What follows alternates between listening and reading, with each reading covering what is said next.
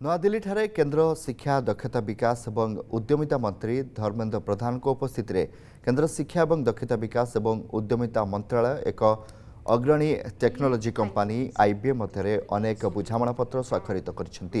ଏ ଅବସରରେ କେନ୍ଦ୍ରମନ୍ତ୍ରୀ ଧର୍ମେନ୍ଦ୍ର ପ୍ରଧାନ କହିଛନ୍ତି ଆମେରିକା ଗସ୍ତ ସମୟରେ ପ୍ରଧାନମନ୍ତ୍ରୀ ନରେନ୍ଦ୍ର ମୋଦି ଭବିଷ୍ୟତର ଦକ୍ଷତା ଇକୋସିଷ୍ଟମକୁ ଅଧିକ ପ୍ରାଥମିକତା ଦେଇଛନ୍ତି ଜି ଟ୍ୱେଣ୍ଟି ଫୋରମରେ ବିଶ୍ୱ ନେତୃତ୍ୱଙ୍କ ସହିତ ବିଶ୍ୱର ସ୍କିଲ୍ ମ୍ୟାପିଂ କରିବା ଭଳି ଚୁକ୍ତି ହୋଇଛି ବର୍ତ୍ତମାନ ସମୟରେ ଟେକ୍ନୋଲୋଜି ଏବଂ ଇନୋଭେସନ୍ ଆମ ବିଚାରକୁ ପ୍ରଭାବିତ କରିବା ସହିତ ଜୀବନଶୈଳୀରେ ପରିବର୍ତ୍ତନ ଆଣୁଛି ଟେକ୍ନୋଲୋଜି ସହିତ ସବୁକିଛିର ଡିଜିଟାଲୀକରଣ ଆମ ଦୈନନ୍ଦିନ ଜୀବନର ଗୋଟିଏ ମାଧ୍ୟମ ହୋଇଛି ଡିଜିଟାଲ ସାକ୍ଷରତା ବର୍ତ୍ତମାନ ସମୟରେ ପ୍ରାସଙ୍ଗିକ ହୋଇଛି ଏନେ ଆମର ଅର୍ଥନୀତି ବ୍ୟବସ୍ଥା ଏବଂ ସାମାଜିକ ବ୍ୟବସ୍ଥା ଉପରେ ପ୍ରଭାବ ପକାଉଛି ଦେଶର ଶିକ୍ଷା କ୍ଷେତ୍ରରେ ତିରିଶ କୋଟିରୁ ଅଧିକ ଛାତ୍ରଛାତ୍ରୀ ଅଛନ୍ତି ସେମାନଙ୍କୁ ସ୍କିଲ୍ କରାଯିବାର ଯୋଜନା ହେଉଛି ସେମାନଙ୍କୁ ସ୍କିଲ୍ କରାଯିବାର ଲକ୍ଷ୍ୟ ରହିଥିବା କହିଛନ୍ତି କେନ୍ଦ୍ର ଶିକ୍ଷାମନ୍ତ୍ରୀ Dharmendra Pradhan I'm consciously using the word service women in a unisex saloon. Prime Minister Modi met a old lady from Maharashtra. You all might have seen that in the TV.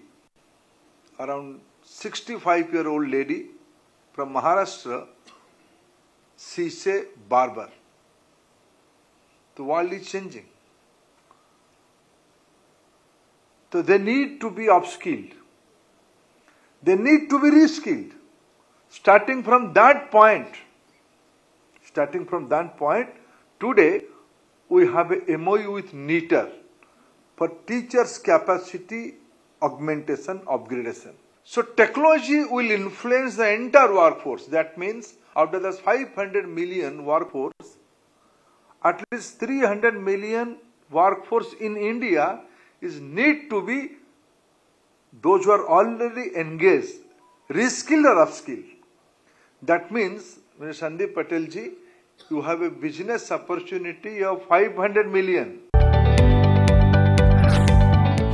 जदि आपंक आम भिडी भल लगा तेब आम चैनल को लाइक सेयार और subscribe करने को जमा भी बुलां नहीं